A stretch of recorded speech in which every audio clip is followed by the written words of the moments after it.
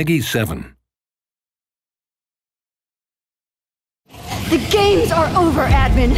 I told you, your world's done!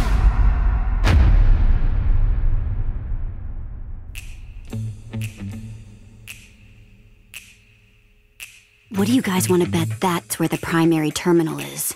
The giant floating tower with no clear entrance? Yeah, probably. All right, here's the plan. We need fireworks. Which the admin has stockpiled backstage at the event! Perfect. We just need a distraction.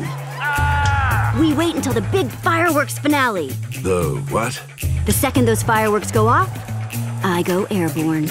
That uh, might just be the best crazy I've heard in a while.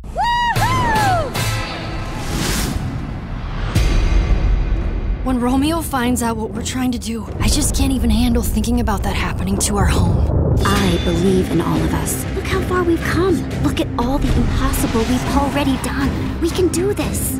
You just lead the way, and the new Ocelots will have your back. Now you look like you're ready for a showdown. It's just so easy for something bad to happen to a town. Stop this. How are we gonna stop this? Oh, I am so upset that you're back. Looks like I'll have to take care of you the old-fashioned way. The games are over, admin. Get it up! I told you, your world's done!